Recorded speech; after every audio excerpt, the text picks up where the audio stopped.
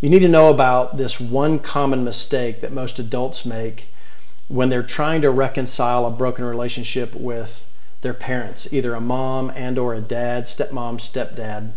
Uh, because if you if you step in this mud puddle when you go to reconcile that relationship, it's just going to cause more pain, confusion, frustration, awkwardness in the relationship. It's not necessary.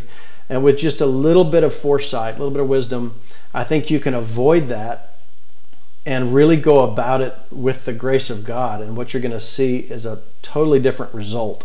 So there was a woman who called. She's been through the greatest journey here in Lucas, Texas. And then she called because she was about to get in a sticky situation and, and she was like, What do I do? How do I handle this? And she had already made this mistake and was experiencing the awkwardness, the difficulty of it. And we were able to get that thing turned around. And I want you to hear her testimony of a complete flip of result once she got this thing ironed out and and did it in the grace of God with what I'm going to suggest to you. It, it totally changed the whole dynamics of her family. And it's very, very simple, okay? So here's the deal. Right before I read her letter, I want to remind you you know how we walk through those four steps of the greatest journey? We reveal the pain, of our past, right? Instead of conceal it, uh, we rebuke or confront the sin of another, the sin of the person who uh, wounded or hurt us. It wasn't our fault uh, what they did, but then step three, we have to be willing to repent of our sin, our reaction of bitterness and unforgiveness towards them. And then we can begin to restore, step four, restore the relationship with forgiveness. We're restored at the heart level by the forgiveness of the Heavenly Father for our sin, and then that same forgiveness flows through us towards those who have hurt us as we forgive them from the heart. Like Jesus says in Matthew 18, right? So those are the steps. So most of us take those steps kind of literally and we say, okay, if I re- had to rebuke or confront the sin of another first when I did the greatest journey and then repent of my sin, now when I go to a parent to sort of reconcile that broken relationship, I need to rebuke or confront them first before we can get to a place of repentance. And that doesn't go well. Usually that's met with defensiveness or justification or excuses or not validating the pain or having a totally different narrative than what, what we know happened. Why? Well, they're not in a healing process. They don't have probably the biblical language for reconciliation. They're kind of taken off guard and they feel attacked. We don't feel validated, so the whole thing just gets messy. So, what we have learned is to reverse those steps two and three and lead with repentance. That's the humility that softens hearts first and then we can get to the confrontation or talking about the pain that happened back there. Why is that so critical? Why does that work?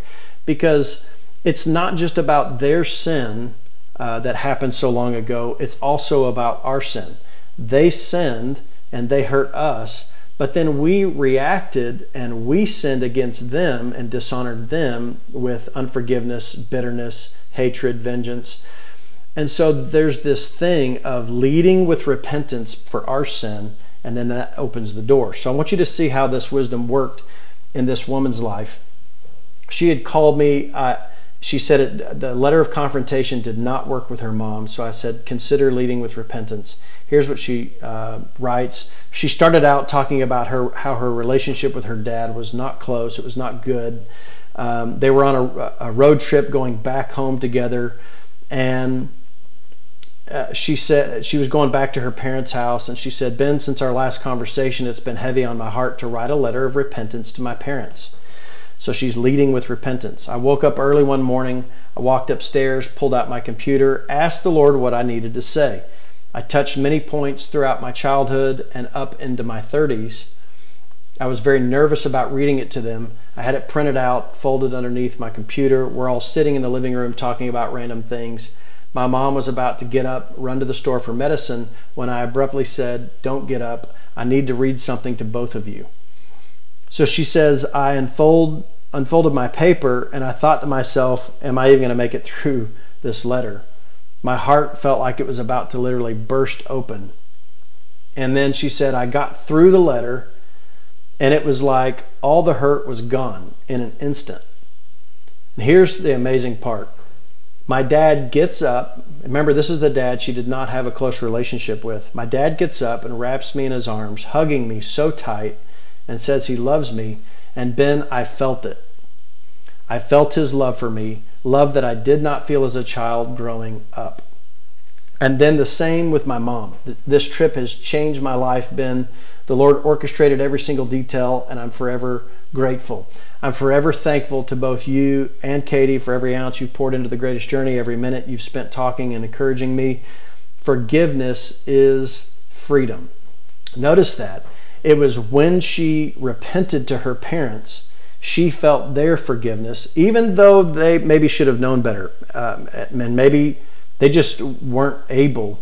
Uh, there was enough brokenness in their own lives. They weren't able to get there. But she led with repentance first. She felt their forgiveness. That opens the door now for her to talk about the pain she experienced. And then the grace of God begins to work in the family. So, um, and then she says, forgiveness is freedom. Um, the forgiveness of the Father on her because of her repentance, and then her ability to then totally release her parents. Um, what I'm not talking about in, in this kind of a scenario is severe abuse where the relationship is still dangerous, where's the, where there's the potential for more abuse that's actually not safe. Okay, I'm not talking about going into that situation with repentance because that can often be manipulated and used for more abuse. I'm not talking about being a doormat for someone else's uh, stuff. What I'm talking about here is what happens a lot where it's more subtle, the relationship dynamics have shifted, it's not unsafe, it's just awkward, hard, painful. Um, and in those cases, if we lead with repentance, it works. Uh, the grace of God comes on that humility, and then the spirit of reconciliation, the, the, the Holy Spirit that reconciles people to the Heavenly Father and to each other, His anointing begins to operate in the family dynamics once humility comes in. So I hope that helps you guys to see that little tweak, that shift in the steps as you walk this out. The same is true for lots of other relationships. It just is the most obvious when it comes to parents because that tends to be a really difficult one. Hopefully, that helps you. if you're curious about the greatest journey, you can go to freedomlifetoday.org, click the button that says Take the Journey, and you'll learn all about it. We have online resources that are free in YouTube, 10 videos that walk you through a 10 week process. We have a, a full color um, course guide that's printed. It's available through Amazon that you can get that goes along with those 10 videos. You can do that anywhere.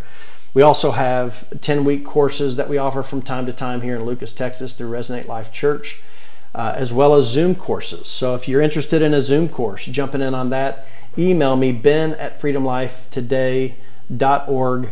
Uh, shoot me a comment or a question in the comment section below. Would love to be able to discuss more um, and hope that this has encouraged you guys.